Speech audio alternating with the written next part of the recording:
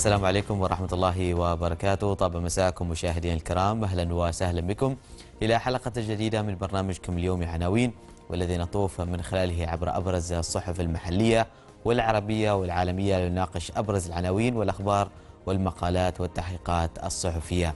البداية كما هي العادة باستعراض لأبرز عناوين هذه الحلقة. تحديد الملاعب التي ستحتضن مواجهات الأحمر في التصفيات المزدوجة. السيد خالد يترقب طموح تنفيذية الفيفا في الكونغرس الآسيوي. الأهلي يستضيف الفتح لتضييق الخناق على النصر. ومحادثات مشبوهة لطلال الفهد بشخصية في الديوان الأميري. بورنموث يكتب التاريخ ويعانق البريمير ليج بعد طول انتظار. إذا مشاهدينا الكرام كانت هذه أبرز عناوين هذه الحلقة. نتوقف مع مع فاصل قصير ومن بعده نفتح وإياكم ملف الصحافة المحلية.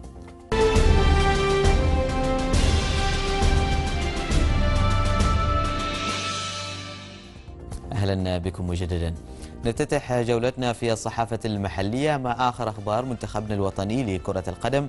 فقد انفردت صحيفة الزمن بالملاعب التي ستقام عليها مواجهة المنتخب بالتصفيات الآسيوية لكأس العالم 2018 وكأس آسيا 2019 مزيد من التفاصيل نقرأها لكم من صحيفة الزمن.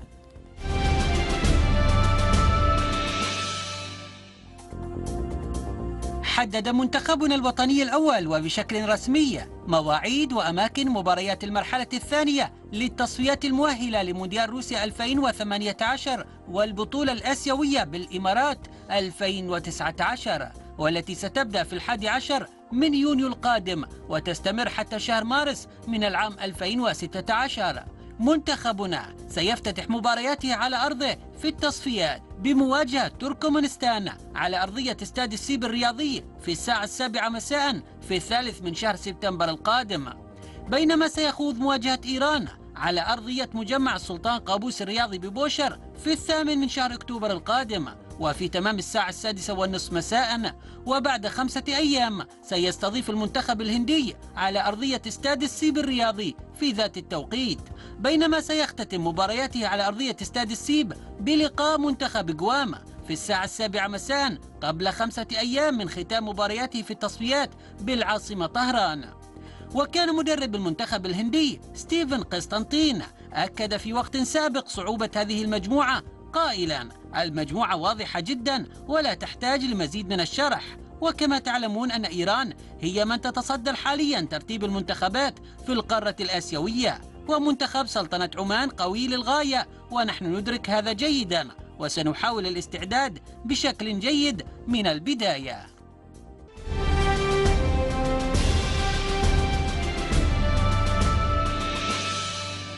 إذن تحديد الملاعب بالنسبة لتصفيات كأس العالم وكذلك تصفيات كأس آسيا يسعدنا في هذه اللحظات. أن نرحب بضيفي الصحفي بجريدة زمن وليد جحزر. أهلا وسهلا بك وليد. أهلا وسهلا بك. حياك الله. إذا صحيفة الزمن تنفرد بهذا الخبر تحديد ملاعب بالنسبة لتصفيات كأس آسيا وكذلك كأس العالم. اختيار ما بين مجمع بوشر للمباراة المهمة التي تقام أمام إيران وكذلك المباريات الأخرى لاستاد السيب الرياضي آه، بالتأكيد آه، أمر غا- آه، في غاية الأهمية تحديد الملاعب التي آه، يعني آه، سيلعب عليها ال- المنتخب ال- الوطني وهذا يصب في آه، يعني تو- توضيح الصورة وأيضا آه، خدمة برنامج الجاهزية بالنسبة للمنتخب الوطني. فمن المهم أن يكون ال- المنتخب من المعلوم له ما هي الملاعب التي سيلعب عليها. هذا يدخل ضمن بر- برنامج الاستعداد والجاهزية وكثير من المدربين يهتمون بالدرجة الأساس. معرفة الملاعب التي آه، ستقام عليها المواجهات ويعتبرونها واحدة من ال- الأجزاء المكملة للتهيئة المناسبة لخوض ال- المنافسات ضمن برنامج الإعداد والدعم اللوجستي المتكامل و يعني ال- الاهتمام ال- الفني والاهتمام الإداري والمتابعة. الملع تحديد الملاعب تصب آه، في جوهر أيضا عملية الإعداد. وهذا شيء آه، جيد أن تكون هناك رؤية واضحة بالنسبة لمواجهات تصفيات كأس العالم وتصفيات كأس آسيا ومعرفة الملاعب التي سيخوض عليها المنتخب. هذه المواجهات. يعني تعودنا دائما في كل التصفيات آه، اختيار ملعب مجمع بوشر لمباريات المنتخب ولكن هذه المرة دخل الاستاذ السيبي الرياضي، هل هناك رؤية من ناحية الحضور الجماهيري لهذه المباريات حتى يكون الحضور الجماهيري بشكل مناسب في استاد السيبي الرياضي؟ بالتأكيد يعني أستاذ السيب شاهدنا تقام عليه آه، مواجهات آه، في الآونة الأخيرة مواجهات آه، دولية ومواجهات ودية قوية صحيح. أعتقد أن الأستاذ أيضا أستاذ السيب الرياضي مؤهل كل التأهيل أيضا لاستضافة مواجهات للمنتخب الوطني الأول في تصفية كأس آسيا وتصفية كأس العالم وأيضا يعني سبق أن لعب المنتخب الوطني فيه مباريات مباريات سابقة وحضر يعني حظي بمساندة جماهيرية كبيرة فالأستاذ أيضا الاستاذ السيب الرياضي مكمل لمجمع بوشر الرياضي وهو لا يقل من حيث الحضور ومن حيث المكانة عن مجمع بوشر آه، باحتوائه لعدد واسع من الجماهير المساندة للمنتخب الوطني. جميل. ننتقل وياكم مشاهدينا الكرام إلى خبر محلي آخر بهدف الفوز بعضوية اللجنة التنفيذية للاتحاد الآسيوي لكرة القدم. تابعت صحيفة عمان التنافس الشرس الذي يخوضه السيد خالد بن حمد البوسعيدي. للفوز بالعضوية نتعرف على المزيد من خلال هذه القراءة السريعة بالصحيفه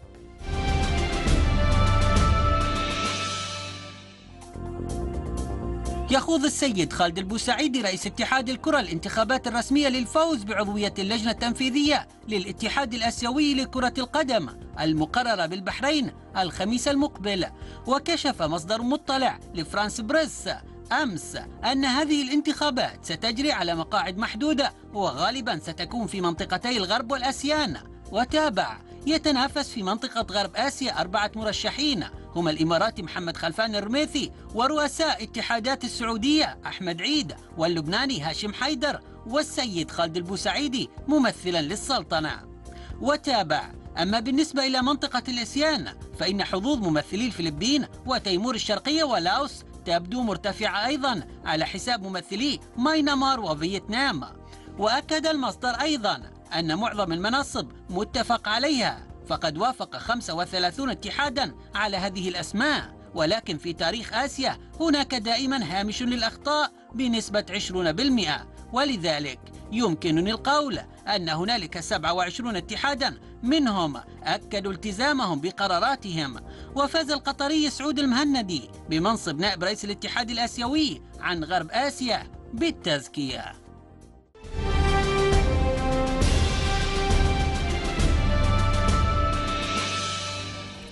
إذن ولي نتكلم عن حظوظ السيد خالد في نيل هذا المقعد الخاصة هناك وجود منافسين من الإمارات من السعودية وكذلك لبنان.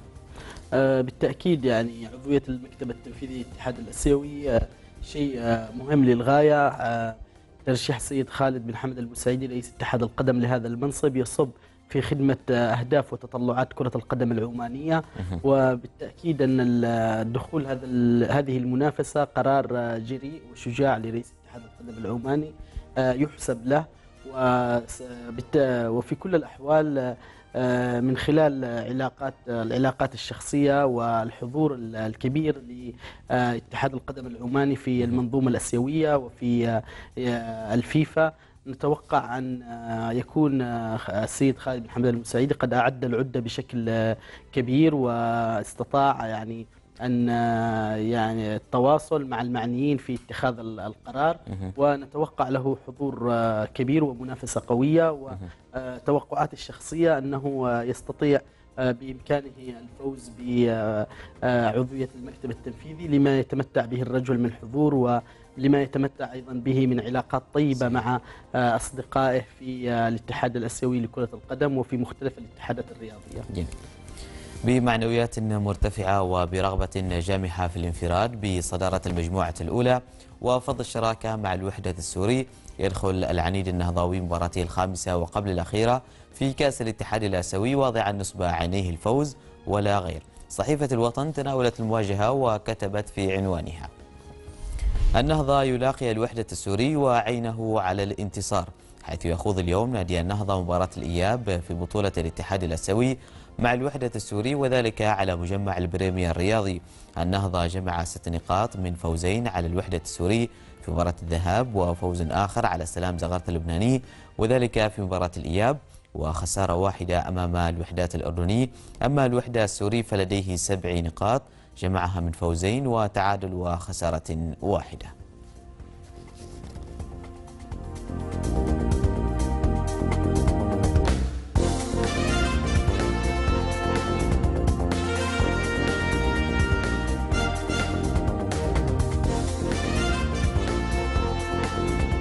وإياكم مشاهدينا الكرام نتوقف مع فاصل قصير ومن ثم نعود ونكمل مشوار الأخبار المحلية.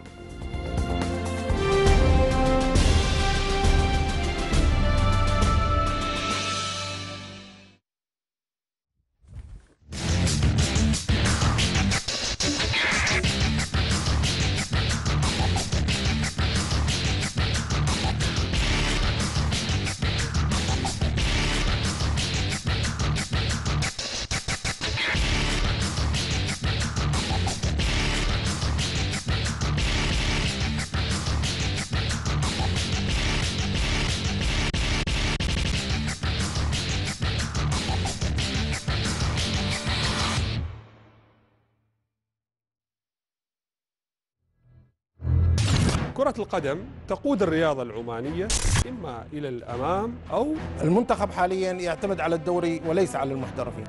نحن هنا في الدكة نقول آراؤنا. الجمعية العمومية هي صاحبة القرار. إما نعم وإما لا. مستوى اللاعب العماني هو الذي يحدد.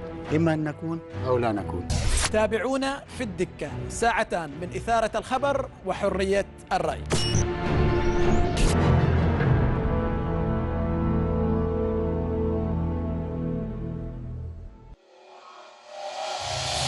أكيد برنامج صدى الجماهير برنامج المساحة المفتوحة للجماهير. الدور الأول كيف كنا والحين كيف كنا فريق صفر؟ ما يأدي لتعليقاتكم لآرائكم لانتقاداتكم. رافع الراية مهتز. هذا الحكام يبالهم اعاده تاهيل مرة ثانية. آه للتعبير عن كل ما هو يخص آه الجماهير.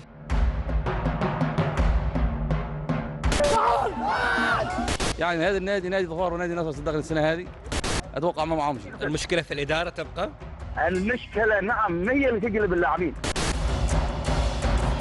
جماهير شعاع الشمس ما تغيب دائما عن فريقها. على تويتر على إنستغرام.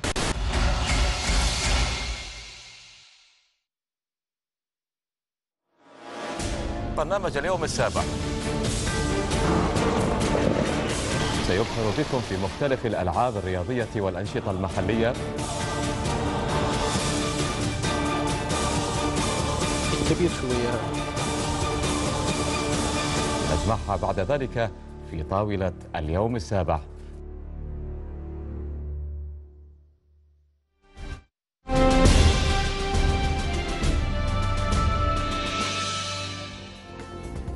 أهلا بكم مجددا مشاهدينا الكرام وطبعا مساكم بكل خير. إذا تابعنا قبل الفاصل الحديث عن مباراة النهضة مع الوحدة السوري وذلك في إياب مباريات كأس الاتحاد الاسيوي وذلك في الجولة الخامسة. اذا وليد مباراة مهمة بالنسبة للنهضه هناك عاملين مهمين لتحقيق الانتصار الفوز مباراة الذهاب وكذلك عامل الأرض والجمهور بالنسبة للنهضه أيوه بالتأكيد يعني النهضة في وضع أفضل الآن جدد آماله في هذه المجموعة بعد الفوز على السلام زغرت اللبناني. ويعني كان بوسع النهضة أن ينفرد بشكل أكبر إذا ما كسب السلام زغرت في الذهاب والإياب. ولكن يعني في النهاية هذه كرة القدم ويجب اللعب على الممكن والمتاح في الوقت الراهن. المتاح أنه يلعب في البريمي وسط أرضه وجمهوره وأيضا أمامه الفرصة سانحة لمضاعفة رصيده من النقاط خاصة أنه تغلب على الوحدة السوري في مباراة الذهاب. وبالتالي أيضا يجب أن لا يفرط كثيرا في التفاؤل وأن يتعامل بحزم خاصة وأن الوحدة السورية أيضا جمع قدر جيد من النقاط ولديه سبع نقاط.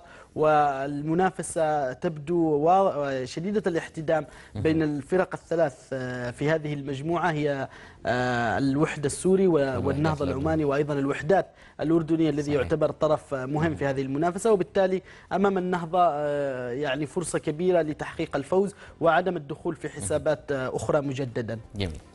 ننتقل وإياكم مشاهدينا الكرام إلى خبر محلي آخر بعد تعيينه قبل أيام مدربا لسحار. الصحافة المحلية أخيرا تابعت خبر التعيين لتخرج الوطن بعنوان قالت فيه. سحار يتعاقد مع ثائر عدنان لقيادة فريقه الأول حيث تعاقد مجلس إدارة نادي سحار مع المدرب العراقي ثائر عدنان على سبيل الإعارة لقيادة الفريق الأول لكرة القدم وذلك في مشواره المتبقي من دوري عمان تل هذا الموسم بعد استقالة المدرب الوطني إبراهيم البلوشي مؤخرا. ويعتبر ثائر عدنان من المدربين المتمرسين في أندية السلطنة بعد توليه تدريب كل من أندية المصنعة وبوشر ونزوة حاليا. وله بصمة واضحة مع هذه الفرق. من وليد عمل كبير مطالب بثائر عدنان خلال الفترة المقبلة. خمس جولات بقت من الدوري وسحار من المهددين ب 23 نقطة للهبوط الدرجة الأولى آه، بالتأكيد آه، تحدي كبير بالنسبة للمدرب ال- العراقي ثائر عدنان. الخمس جولات يجب عليه أن يضع آه، بصمة وبصمة كبيرة كما عودنا دائما. ويعول عليه أيضا من قبل إدارة نادي صحار وأيضا المدرب قبل بخوض هذه المغامرة في توقيت مضغوط وشديد الحساسية بالنسبة له وبالنسبة أيضا لنادي صحار في هذا التوقيت. ولكن يعني شاهدنا المدرب ثائر عدنان من المدربين ال- يعني المغامرين والذين يسعون إلى وضع بصمتهم الخاصة دائما ولاحظنا آه، ما قام به من جهد كبير مع نادي بوشر في تصعيده إلى دوري النخبة. واشتغل على نادي بوشر كثيرا وقدم الكثير من الجهد وله صولات سابقة مع نادي المصنعة ونزوة. المدرب يعني لديه حضور محلي ومتابع جيد نعرفه عن قرب لكافة ال- الفرق ولكافة ال- الأندية الموجودة. ومن هذه من هذه المعرفة أتوقع أن يضع الخيارات المناسبة في قود يعني في قيادة صحار إلى وضع أفضل وإلى الاستفادة مما تبقى من الجولات القادمة حتى يستطيع أن يحافظ صحار على بقائه وأن يحقق نتيجة جيدة. جميل.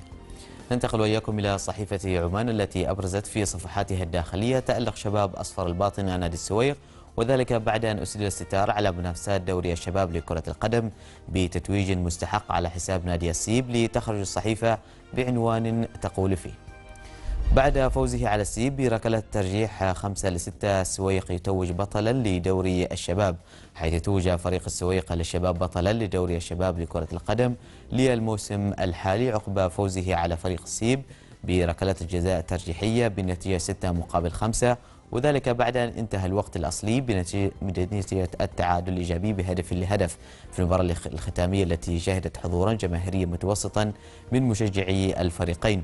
وعقب نهاية المباراة الختامية قام راعي المناسبة بتكريم الفرق التي حصلت على المركز الثلاثة الأولى بالبطولة وهي أندية السويق البطل والسيب وصيفا والمصنعة ثالثا.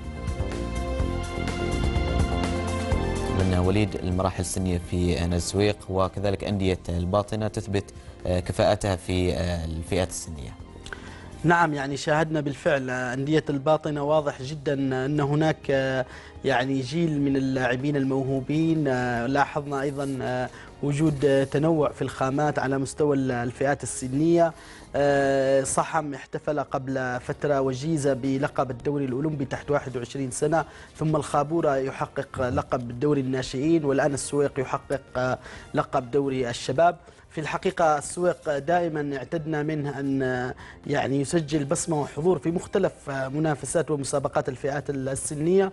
ونادي السويق في الحقيقة يعتمد على الكثير من لاعبيه ال- الأشبال والشباب الذي يتم إعدادهم داخل النادي. ويقدمون يعني ينمون ويكبرون على حب كرة القدم. ونشاهدهم فيما بعد سو- سواء مع الدوري الأولمبي تحت 21 أو نشاهدهم في الفريق الأول بشكل متميز. آه، السويق عندما يعني مر هذا الموسم أيضا بتحديات كبيرة على صعيد ال- الإدارة في مسألة جلب اللاعبين. كان رهانه على الفئات السنية وراهن على لاعبين كثير من ال- الشباب ومن لاعبي الدوري الأولمبي واستطاع أيضا أن يعتمد على خامات جديدة. إذا كلما كان هناك اهتمام بالفئات السنية كلما استطاع النادي أن يثبت أقدامه على أرض صلبة ويستطيع أن ينافس ال- الفرق الأخرى. والفئات السنية في السويق دائما ما تقدم لنا فرق جيدة. جميل. ننتقل وإياكم مشاهدينا الكرام إلى خبر آخر. استعدادات للمشاركة في كأس العالم للكرة الشاطئية. يتابع منتخبنا الوطني تحضيراته للبطولة عبر معسكرات داخلية. صحيفة عمان تابعت فعنونت تقول منتخب الكرة الشاطئية ينتظر قرعة المونديال اليوم. حيث يدخل منتخب الكرة الشاطئية في معسكر داخلي الأحد القادم استعدادا للمشاركة في بطولة كأس العالم التي تحتضنها البرتغال في يوليو القادم. وقد اختار الجهاز الفني لاعبين اثنين للدخول في المعسكر القادم وهما محمد البوسعيدي وفيصل الناصري. وراح تزف وكذلك احتراف يحيى العريمي في آه، نادي القادسية الكويتي. وسيغادر اليوم للمشاركة في مباريات فريقه الجديد في دوري الكرة الشاطئية الكويتي. وهي ليست المرة الأولى التي يحترف فيها لاعب من منتخب الكرة الشاطئية حيث سبقه كل من عبد الله البلوشي وهاني الضابط وجلال السناني وخالد العريمي في فرصة مهمة لشركات القطاع الخاص لعرض العلامة التجارية لها تناولت صحيفة الشبيبة الدعم الذي تليه بعض الشركات في البطولة الآسيوية لكرة اليد الشاطئية كشركاء في إنجاح البطولة الآسيوية لكرة اليد الشاطئية التي تستضيفها السلطنة. مزيد من التفاصيل نتابعها لكم من ملحق الجماهير بصحيفة الشبيبة.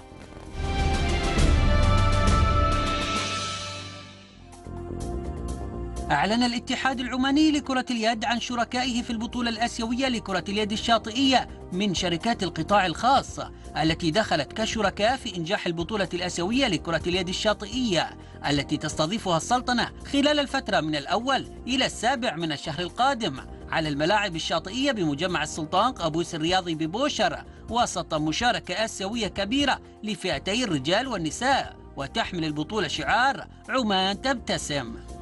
وتتمثل الرعاية عبر شركات عمان تل الراعي الرئيسي للبطولة الآسيوية لكرة اليد الشاطئية وشركة ظفار الدولية للتنمية والاستثمار القابضة وبنك مسقط ومؤسسة الزبير.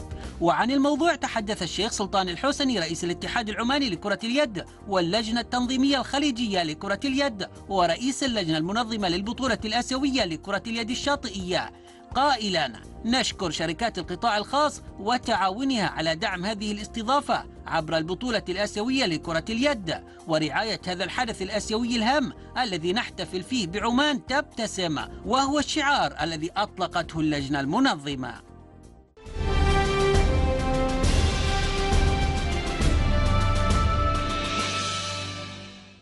إذن تابعنا هذا الخبر حول شراكة القطاع الخاص مع منظمي هذه البطولة والحديث أكثر حول هذا الموضوع ينضم إلينا عبر اتصال هاتفي الشيخ سلطان الحوسني رئيس الاتحاد العماني لكرة اليد. الشيخ سلطان أهلا وسهلا فيك. أهلا بك يا أخوي حياك الله يسلمك. حياك الله أهلا وسهلا. اذا في البداية نتحدث عن آخر الاستعدادات بالنسبة للجنة المنظمة لإستضافة هذه البطولة. آه، الحمد لله رب العالمين. الاستعدادات على قدم وساق بفضل تكاتف الجهود بين اللجنة المنظمة وأيضا المعنيين في الاتحاد أو في وزارة الشؤون الرياضية. وإن شاء الله نتمنى انه نبدأ بكرة إن شاء الله في وضع اللمسات ال- ال- النهائية بالنسبة لبروفة الافتتاح إن شاء الله. وأيضا فيما يتعلق بالجوانب الأخرى اللجان الخاصة بالاستقبال الوفود والتسكين وخلافه. اكتملت ولله الحمد. آه، ننتظر ضيوف عمان ان يصلوا إلى السلطنه تباعا بدءا من اليوم إن شاء الله. جميل. نتكلم تابعنا هذا الخبر قبل قليل حول شراكه القطاع الخاص في تنظيم هذه البطولة. نتحدث عن أهمية هذه الشراكة وكذلك دورهم والدعم اللي راح يقدموه إن شاء الله لإستضافة هذه البطولة. آه والله هي شوف القطاع الخاص شريك مهم بالنسبة لنا ان يكون موجود معنا مؤسسات القطاع الخاص وهذا دور يعني يمكن دور وطني أنا بوجهه نظري الشخصية خصوصا لما لما تستضيف السلطنة حدث قاري فبالتالي نحتاج إلى تكاتف الجهود. رغم حقيقة كلمة شكر للمؤسسات القطاع الخاص اللي بادرت حقيقة وتعاونت مع الاتحاد أن تكون شريكة في دعم هذا الحدث آه، سواء كعوبانتل أو كالزبير أو شركة ظفار أو بنك مسقط آه، حقيقة من الشركات المعروفة دائما إنها سباقة في دعم مختلف الأنشطة في مختلف القطاعات والأحداث اللي تستضيفها السلطنة. وما في شك هذا شيء يسعدنا ويفرحنا ويمكن أيضا رسالة هامة لضيوفنا من الخارج إنه مؤسساتنا الوطنية أيضا صحيح. شريك وداعم للنشاط في السلطنه والحمد لله اليوم أيضا حصلنا على شركة إضافية ستكون شريك أيضا اللي هي شركة السويني الرياضية هي شركة وطنية مجموعة من الشباب الوطنيين بدأوا في تأسيس هذه الشركة وإن شاء الله راح يكون أيضا شركاء إضافيين في الحدث ونتأمل خلال يومين قادمات ان نحاول نضيف شركاء أيضا من حيث الرعاه من مؤسسات القطاع الخاص. بإذن الله، أنا شاكر لك على هذا الحديث إن شاء الله وأتمنى لكم كل التوفيق كمنظمين لهذه البطولة وحتى المنتخب الوطني المشارك في هذه البطولة بإذن الله. ننتقل وياكم مشاهدينا الكرام إلى عالم أم الألعاب حيث واصلت بعثة منتخبنا الوطني لألعاب القوى تألقها في البطولة العربية بعد أن واصلت حصد الميداليات. صحيفة الوطن أبرزت التألق وخرجت بعنوان تقول فيه منتخبنا الوطني للفتيات يتوجنا بفضية سباق التتابع أربعة في 100 متر حيث حصلت فتيات منتخبنا الوطني للتتابع الميدالية الفضية في سباق أربعة في 100 متر بالبطولة العربية لألعاب القوى وذلك في نسختها التاسع عشر التي تحتضنها مملكة البحرين. وقد جاء تتويج منتخب الفتيات الذي مثلته كل مشنون الحبسية ومزون العلوية وبثين اليعقوبية وهناء القاسمية بعد عمل وجهد كبيرين خصوصا في الأمتار الأخيرة حيث أصيبت الحبسية بشد في الساق اليسرى إلا أنها واصلت الجري متكبدة ألم الإصابة لتهدي للسلطنة هذه الميدالية. من وليد عمل جميل يقدم هناك في هذه البطولة سواء كان على فئة الرجال أو حتى فئة الفتيات. آه، بالفعل يعني نهنئ منتخب الفتيات لألعاب القوى. هذه الميدالية الفضية في سباق 4 في 100 متر آه، تتابع. تعتبر يعني من أقوى سباقات السرعة في التتابع للمسافة القصيرة 100 متر. آه، بالفعل فتيات السلطنة يتقدمن في هذه اللعبة بشكل كبير وبشكل قوي للغاية. أتذكر آه، يعني عندما كنا برفقة منتخب ألعاب القوى في البطولة العربية بالدوحة البطولة التي أقيمت قبل هذه البطولة كان حظ ونصيب آه، منتخب فتيات ألعاب القوى هو الميدالية البرونزية.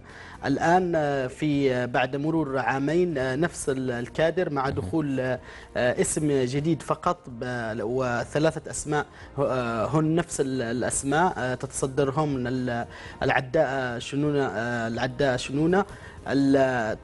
ما تحقق الآن هو الميدالية الفضية. هذا تقدم يعتبر تقدم صحيح. كبير. بالفعل يستحق منتخب الفتيات لألعاب القوى المزيد من الاهتمام المزيد من الرعاية والمزيد من المعسكرات الخارجية. أنت الآن تحقق ميدالية فضية على مستوى آه، بطولة عربية وليس صحيح. على مستوى بطولة خليجية أو بطولة إقليمية أقل. البطولة العربية آه، تعرف أن هناك عداءات من المغرب ومن تونس ومن ومن لبنان آه، ومن الجزائر. دائما لهم بصمة كبيرة في في في مجال العدو وفي سباق 100 متر تحديدا. جديدا فأن تضع فأن تحضر السلطنة بهذه القوة وأن تضع بصمة في سباق الفتيات لمسافة 4 في 100 متر تتابع وتحقق الميدالية الفضية هذا إنجاز كبير وإنجاز يستحق الإشادة والتقدير من الجهات المعنية في الاتحاد العماني لألعاب القوى والقطاع الرياضي بشكل عام. وبالتالي هذا المنتخب يستحق أيضا المزيد من الرعاية حتى تأتي المرحلة المقبلة وينتزع الذهبية. والأمر ليس بمستبعد. الفريق يحصد الذهبية. إذا لديه في ألعاب القوى الحسابات بجزء من الثانية يستطيع أن يصل إلى مرتبة أعلى ويحصد يوما ما الذهبية جيم. ننتقل وإياكم مشاهدينا الكرام إلى عالم الفروسية حيث رصدت صحيفة الوطن تألق الفارس علي الفارسي بعد ضمانه التأهل لكأس العالم للقدرة والتحمل لتخرج بعنوان تقول فيه علي الفارسي يتأهل لكأس العالم للقدرة والتحمل حيث تأهل الفارس علي بن حسن الفارسي من خيالة السلطانية إلى نهائيات كأس العالم للقدرة والتحمل لعام 2016 على صهوة الحصان أوزموس وذلك بعد اجتيازه بنجاح منافسات سباق يوزيس الفرنسي والذي نظمه الاتحاد الدولي للفروسية لمسافة 120 كيلومتر. وشارك في السباق 73 فارسا من مختلف دول العالم وحقق الفارس علي الفارسي المركز الثاني.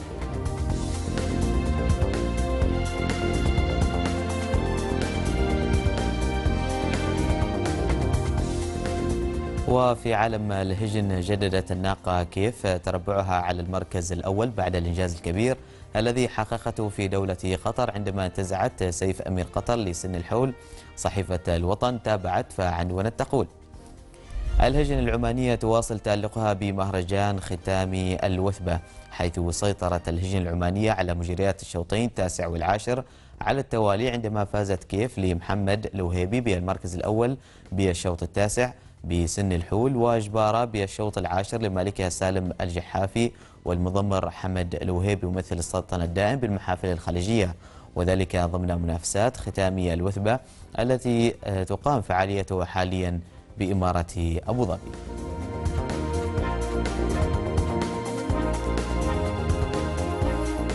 إذا بعد هذه الجولة في الصحافة المحلية نتوقف وإياكم مشاهدينا الكرام مع مجموعة من الأخبار العربية ولكن بعد هذا الفاصل القصير تفضلوا بالبقاء معنا.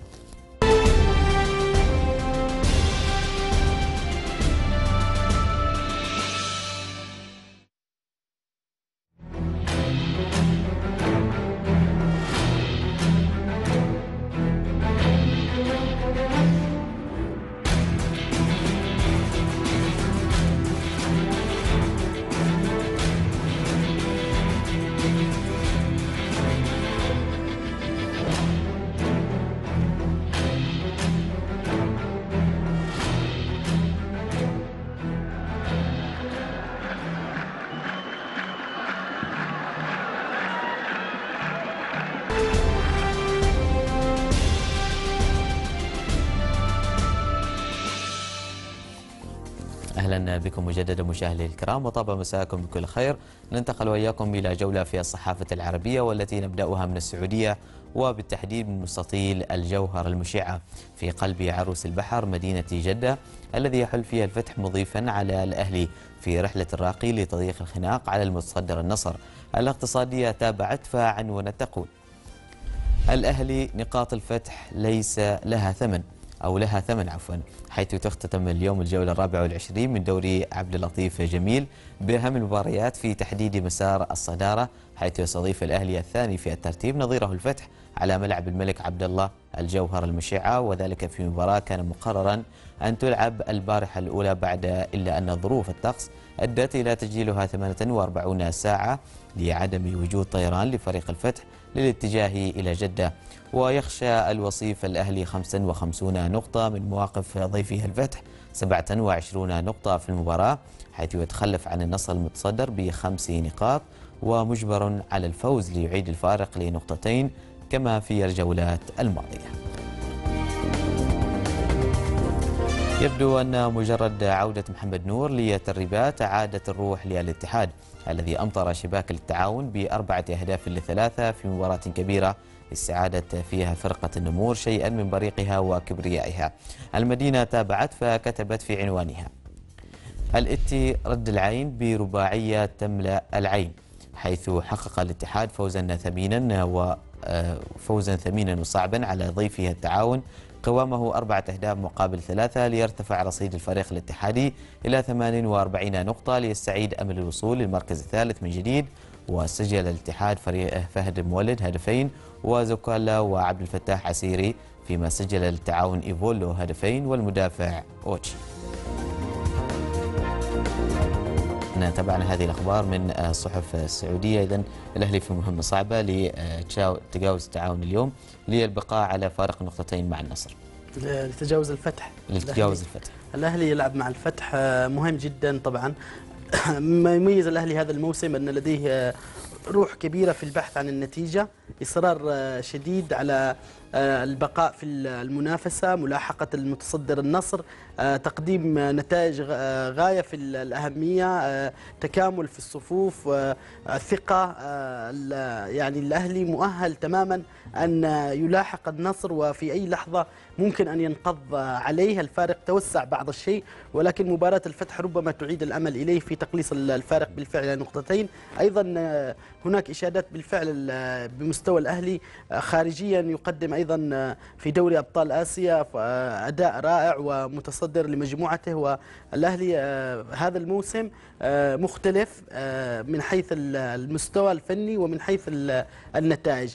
بالنسبة لعودة محمد نور إلى الاتحاد هو يعتبر يعني بمثابة أيقونة لنادي الاتحاد ويعني للاعبي الاتحاد الكثير. نجم كبير نجم يستطيع صناعة الفارق. أيضا لديه يمتلك الخبرة صاحب صولات وجولات وارتبط اسم محمد نور بالاتحاد.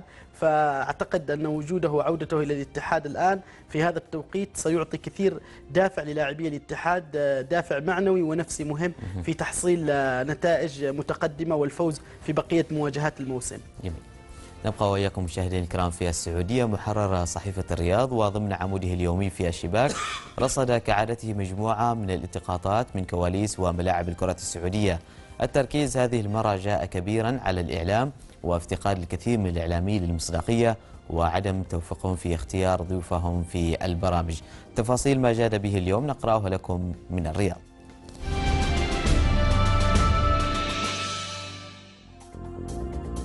من أخطأ استحق العقاب.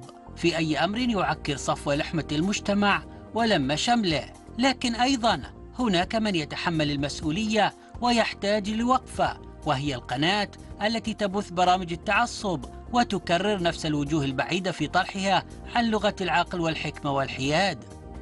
أرادوا حفر حفرة للإعلامي فوقعوا فيها وضاع كل المخطط المعد للإضرار به بعد أن واجه الأمر بذكاء وحافظ على هدوئه وكسب الجولة. لم ينس صاحب التغريدة التي في بدايتها رفض وفي نهايتها توسل. لعل وعسى أن يعود الذي فقد الفلاشات والأضواء وعاش في عزلة. جاءت عودة قائد الاتحاد محمد نور وزميله المدافع حمد المنتشر متأخرة. وهي فنيا لن تضيف جديدا للعميد في هذا الوقت. وأيضا المرحلة العمرية للاعبين. وربما وجدت الإدارة في إعادتهما مخرجا لضغط الجماهير الاتحادية. توقع كثيرون أن يؤثر غياب لاعب الوسط البولندي أدريان في أداء النصر أمام الفيصلي لكن نجوم الأصفر قدموا مباراة كبيرة وأثبتوا أن الفريق لا يتأثر بغياب نجم مهما كان اسمه.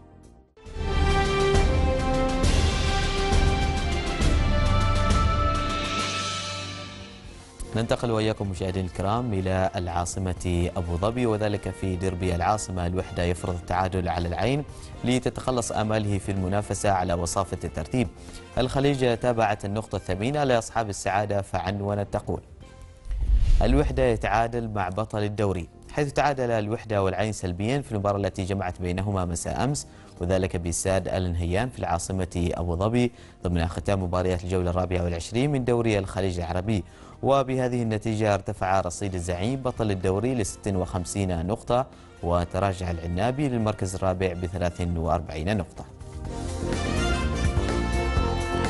من جانبه الشباب وبعد الفوز على الفجيرة أحيا آماله في المنافسة على وصافة الترتيب. الرؤية تابعت تفاؤل مدرب الفريق كايو جونيور ولكنها ومن خلال خطأ إخراجي وضعت صورة المدرب التشيكي إيفان هاسك وعنونت على لسان جونيور تقول سننافس الجزيرة على الوصافة حيث أعرب المدير الفني لفريق الشباب لكرة القدم كايو جونيور عن سعادته بفوز فريقه على الفجيرة ورفع الجوارح بهذا الفوز رصيدهم إلى 45 نقطة في جدول ترتيب المسابقة لا سيما قبل نهاية الدوري بجولتين متخطيا حاجز النقطة ال 44 التي وصل إليها مع نهاية الدوري الموسم الماضي. وأكد جونيور رضاه عن الفريق ومنافسته في المربع الذهبي ووصوله إلى وصافة المسابقة. مضيفا لا نعلم ماذا يمكن أن يحدث في الجولتين المقبلتين لكن يكفي أن الفريق تجاوز رصيده في الموسم الماضي. إذن هكذا الصراع في الدوري الإماراتي بعد ظفر العين باللقب. الصراع ما بين مراكز الوصافة بين الجزيرة والوحدة وكذلك الشباب. بالتأكيد يعني حسمت الدوري الإماراتي حسم والعين استطاع أن يحسم الدوري قبل جولات من انتهائه. الصراع معروف على الوصافة الآن. ولكن يعني كما تشاهد في تصريحات المدربين الكل يبحث عن موضع قدم بالبقاء في الدوري الإماراتي عموما. يعني فتلاحظ أن المدرب يقول أننا آه، يعني حصدنا عدد من النقاط يتجاوز ما حصدناه العام الماضي وهذا يدلل على حرص كل مدرب وكل جهاز فني في تقديم آه، يعني أوراق اعتماد للموسم القادم وتقديم اطمئنان آه، يعني طمأنينة للمشجعين وللإدارة أنه باستطاعته أن ينافس في مواسم مقبلة. ولكن الخيار يبقى للإدارة في النهاية في الحفاظ على هذا الجهاز الفني من عدمه. جميل. ننتقل وإياكم مشاهدينا الكرام إلى الكويت. رئيس الاتحاد الكويتي لكرة القدم يماطل في موعد نهائي كأس الأمير بين القادسية والكويت. الرأي تكشف على محادثات أو عفوا ما بين القادسية والسالمية. الرأي كشفت عن محادثات مشبوهة بين طلال فهد ومسؤول في الديوان الأميري في محاولة من الفهد وضع مواعيد للنهائي لا تتناسب وارتباطات سمو الأمير. في محاولة منه لكسب الوقت. تفاصيل المحادثات نقرأها لكم من الرأي.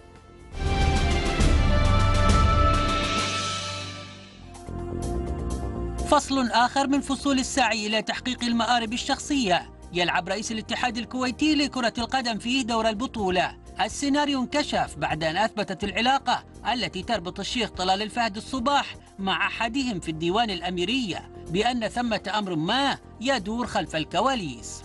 فقد استقصد الاتحاد وبعد التنسيق مع مسؤول الديوان بعث مواعيد مقترحة لإقامة نهائي مسابقة كأس سمو الأمير في كرة القدم بين القادسية والسالمية إلى الديوان الأميرية في توقيت قد لا يكون مناسبا أصلا بسبب ارتباطات صاحب السمو داخل وخارج الكويت ليجري بعدها رفض الموعد تلم الموعد وعندها يبرئ الاتحاد ساحته فيما خص موعد نهائي الكاس.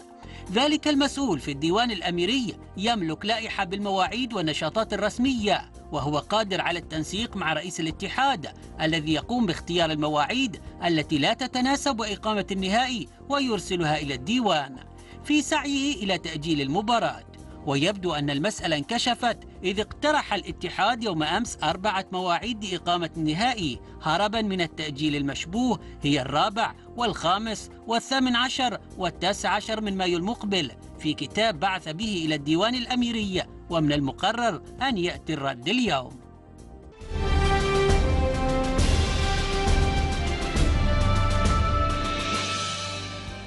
ننتقل وإياكم مشاهدينا الكرام إلى قطر. لا حديث إلا عن صراع كأس أمير قطر في رحلة كبيرة وشاقة للمنافسين والطامحين في المنافسة على اللقب. الراية تابعت أبرز المواجهات فكتبت في عنوانها. الطايح رايح حيث تقام اليوم أربع مواجهات ضمن المرحلة الثانية من كأس أمير قطر حيث يلتقي الشحانية مع الأخلاقيات ويواجه الريان الوكرة ويلعب مسامير مع الخور وتختتم المرحلة الثانية بمواجهة الشمال والسيلية. كان فريقا ريان ومسامير قد نجحا في التأهل للمرحلة الثانية من كأس سمو الأمير المفدى إثر فوزهما على فريقي المرخية ومعيذر بنتيجة خمسة مقابل لا شيء وبهدفين مقابل هدف. حالة من الجدل بين إدارة نادي السد وناجي الجويني المدير التنفيذي للجنة للجنة الحكام بالاتحاد القطري وذلك بعد الظلم الذي تعرض له النادي في مباراته أمام الجيش. كما ترى إدارة نادي السد بكأس قطر. الوطن تابعت المنافشات بين الطرفين فعنونت تقول صك وحك بين جويني والسد حيث قدم نادي السد احتجاجا رسميا إلى اتحاد كرة القدم عقب خسارته أمام نادي الجيش بثلاث أهداف مقابل هدف واحد وذلك في نصف نهائي كأس قطر. من جهة أخرى شدد ناجي الجويني المدير التنفيذي للجنة الحكام باتحاد الكرة على رفضه التشكيك في نزاهة الحكام القطريين خلال إدارتهم المباريات وخص الجويني بالذكر الحاكم عبد الرحمن الجاسم الذي أدار مباراة السد مع الجيش في نصف نهائي كأس قطر. وقال أخطاء الحكام أو الحكم عبد الرحمن جاسم كانت تقديرية ولم يتعمد الانحياز لفريق على آخر. البحرين تعتلي قمة أم الألعاب في وذلك في البطولة التي اختتمت مؤخرا في الأراضي البحرينية. الوطن وغلاف محل ملحقها الرياضي عنونت تقول تاريخية بالذهب البحرين بطلة العرب حيث فازت مملكة البحرين بلقب البطولة العربية التاسعة عشرة لألعاب القوى للرجال والسيدات التي اختتمت على أستاد مدينة خليفة الرياضية لأول مرة في تاريخها وذلك بعدما حصلت 31 ميدالية متنوعة بينها 12 ذهبية و10 فضيات وتسعة برونز وجاءت المغرب في المركز الثاني بحصولها على 20 ميدالية ملونة بينها ثمان ذهبيات وست فضيات وست برونزيات بينما ظفرت قطر بالمركز الثالث بنيلها 16 ميدالية بينها ست ذهبيات وست فضيات وأربع برونزيات ضمن ولي تتويج للبحرين بلقب هذه البطولة هل جاء متوقع أن يحتل البحرين المغرب قطر صدارة الترتيب في البطولة العربية؟ آه، هو في بالفعل يعني البحرين وقطر في الآونة الأخيرة هناك اهتمام غير مسبوق بواقع آه، يعني منافسات رياضة ألعاب القوى.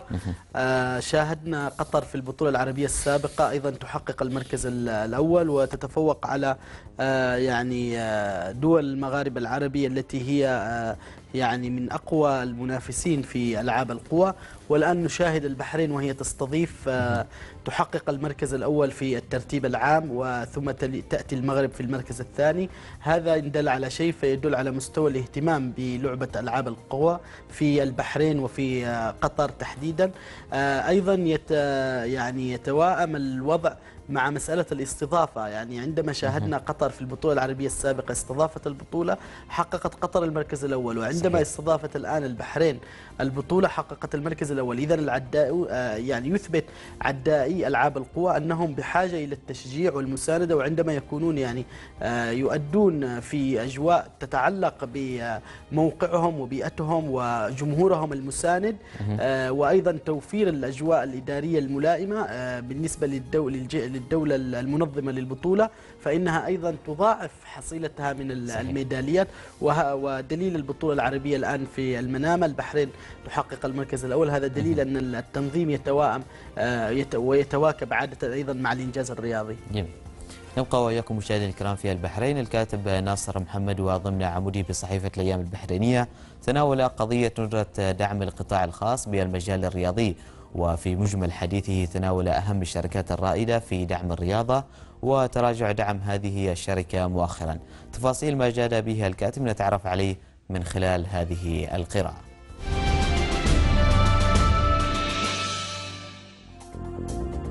شاءت الصدفة أن ألتقي بعدد من القيادات الرياضية من رؤساء اتحادات وتحدثت معهم حول الدعم المقدم من الشركات. وفي سياق الكلام معهم تطرقنا لموضوع إحدى الشركات الرئيسية الداعمة للرياضة البحرينية على مدى سنوات طويلة وخاصة أنه سبق لي شخصيا الإشادة بها وبالقائمين عليها. وأوجه عتاب اليوم لهذه الشركة لما يربطني بالقائم الأول عليها الأخ عبد العزيز مجيد شفيع وأعني بذلك شركة شيفرون التي اختفى اسمها من القائمة ما يقارب الثلاثة أعوام. فهي من الشركات الأم التي تدعم الشراكة المجتمعية من خلال الاتحادات والرياضة. ولا أدري لماذا قلصت الجهود والدعم منها للرياضة. إننا حينما نعتب على هذه الشركة من باب العشم حيث أننا ننظر إليها كشركة بحرينية نشيد بالجهود التي قامت بها على مدى أكثر من ثمانين عاماً. ونتطلع ونتمنى من القائمين عليها المساهمة كعادتها في دعم الأنشطة الرياضية التي تهمنا بالمقام الأول. إضافة للجمعيات الخيرية التي يعمل بها العديد من المتطوعين وتعتمد اعتمادا كليا على الدعم الذي يصلها من الشركات والمؤسسات. أتمنى من أخي العزيز مجيد شفيع نقل وجهة نظرنا إلى الشركة الأم لتواصل دعمها ومساندتها للرياضة والرياضيين. وكما سبق لنا أن أشدنا بها في السابق نود أن نلفت نظرها اليوم للمساهمة معنا في رفع وارتقاء مستوى الرياضة في مملكتنا العزيزة. والله من وراء القصد.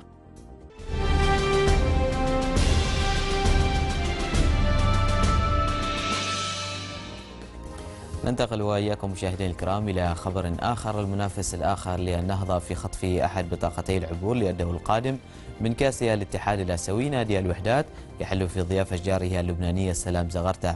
الراية تابعت تحضيرات الوحدات فعنونت تقول السلام زغرته والوحدات بالمعنويات المرتفعة حيث تطغى المعنويات المرتفعة على نجوم الوحدات وهم يواجهون اليوم.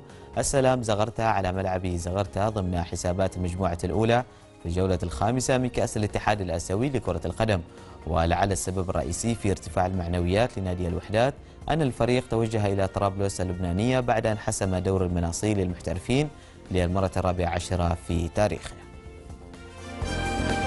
الكثير من الانتقادات تطال مدرب النادي الأهلي المصري جاريدو ومطالبات كثيرة بإقالة المدرب.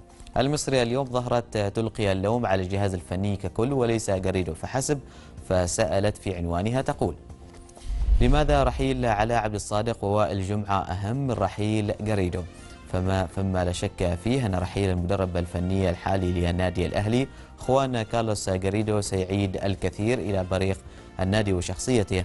التي افتقدتها أو افتقدها بمرور الأيام تحت قيادة المدرب الإسباني ولكن بالتأكيد لن يعود الأهلي إلى مكانته في ظل تواجد علاء عبد الصادق كمشرف عام على قطاع الكرة بالنادي رحيل علاء عبد الصادق قبل جاريدو يعتبر من أهم الخطوات في طريق عودة النادي الأهلي إلى الطريق الصحيح إضافة إلى ذلك رحيل وائل جمعة حيث أصبح رحيل الثنائي مطلب جماهيري كما هو حال رحيل جاريدو ننتقل وإياكم مشاهدينا الكرام إلى جولة في الصحافة العالمية ونستهلها من إسبانيا. فقد سلطت صحيفة الموندو ديبورتيفو المقربة من النادي الكتالوني على المواجهة المرتقبة التي سيخوضها برشلونة مع ختافي معتبرة أن مواجهات البلوغرانا القادمة بمثابة النهائي لتخرج بعنوان قالت فيه. النهائي الأول حيث ذكرت الموندو أن برشلونة سيكون على موعد مع مواجهة هامة اليوم حينما يواجه ختافي وذلك في الجولة الرابعة والثلاثين من الليغا ولا يوجد مجال لخسارة النقاط في أي من جولات الليغا المقبلة أو الليغا المقبلة. وذلك في ظل الصراع المحتدم على اللقب. وتابعت الصحيفة أن المدير الفني للفريق الكتالوني الإسباني لويس إنريكي حذر من صعوبة مباراة ختافي. وأكد أن فريقه الكتالوني سيخوض المباراة وكأنها مباراة نهائي. وأضاف أن المباراة هي البوابة الأولى من أجل الاقتراب أكثر من التتويج باللقب. ننتقل وإياكم إلى بريطانيا وذلك بعد المستوى المتذبذب الذي يقدمه مانشستر سيتي هذا الموسم. أبرزت صحيفة ميرور اهتمام السيتيزن بنجم الجنرز ويلشير وخرجت بعنوان كتبت فيه. صيد جيد ويلشير حيث يواصل نادي مانشستر سيتي حامل لقب الدوري الإنجليزي الممتاز لكرة القدم محاولاته لإتمام صفقة التعاقد مع لاعب وسط منتخب إنجلترا وفريق أرسنال جاك ويلشير خلال فترة الانتقالات الصيفية عقب نهاية الموسم الحالي وأشارت صحيفة ميرور الإنجليزية إلى إدارة سيتي لن تلتفت لرفض أرسن فينجر المدير الفني لأرسنال التفريط في جاك ويلشير بتجهيز عرض مالي ضخم قيمته 30 مليون جنيه استرليني لضم اللاعب في الصيف المقبل. ولفتت إلى أن هذه الصفقة ستكون محل شد وجذب كبير عقب نهاية الموسم الحالي في ظل إصرار السيتي وعناد فينجر. وشعور جاك ويلشير أن مكانه في التشكيلة الأساسية لم يعد مضمونا. نبقى وإياكم في بريطانيا فقد تغنت صحيفة التلغراف بصعود بورنموث للدوري الإنجليزي الممتاز لأول مرة في تاريخه لتخرج بعنوان قالت فيه نحن صاعدون حيث ذكرت الميرور أن فريق بورنموث تأهل رسميا للدوري الإنجليزي الممتاز لكرة القدم وذلك المرة الأولى في تاريخه عقب تغلبه مساء الاثنين على ضيفه بولتون بثلاث أهداف دون رد في المباراة التي أقيمت بينهما لحساب الجولة الخامسة والأربعين وقبل الأخيرة من الدرجة الأولى. وضمن بورموث تأهله للدور الإنجليزي الممتاز للمرة الأولى في تاريخه بغض النظر عن نتيجة مباراته الأخيرة أمام تشارلتون بسبب تفوقه في فارق الأهداف عن ملاحقه على التأهل المباشر مدى الزمن من وليد نتكلم عن صفقة تعاقد مان سيتي مع جاك ويلشير لاعب نادي أرسنال. هناك مرحلة لتصحيح الأوضاع في مانشستر سيتي بعد الخروج من دوري الأبطال وكذلك الوضع الحالي في الدوري الإنجليزي الممتاز. فعلا المان سيتي يمر بمرحلة تذبذب خاصة وأنه يعني حقق اللقب الموسم السابق وبالتالي السيتي يبحث عن مرحلة توازن.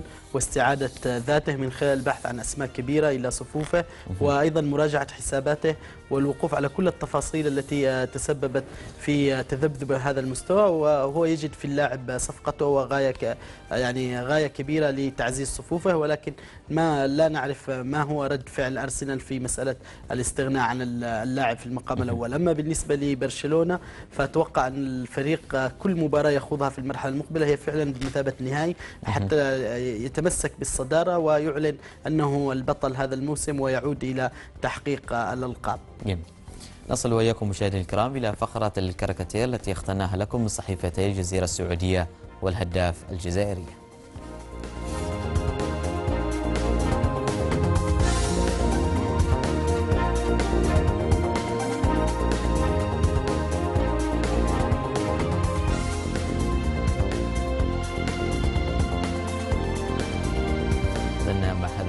الكاريكاتير وصلنا وياكم مشاهدينا الكرام إلى ختام هذه الحلقة. كل الشكر للصحفي بجريده الزمن ولي جحسان شكرا لك وليد شكرا جزيلا نلتقي إن شاء الله في حلقات مقبلة. إن شاء الله. كل الشكر لك وشكر موصول لكم مشاهدينا الكرام على متابعتكم خلال هذه الساعة. نلتقي إن شاء الله غدا في نفس الموعد. تقبلوا تحيات فريق العمل. إلى اللقاء.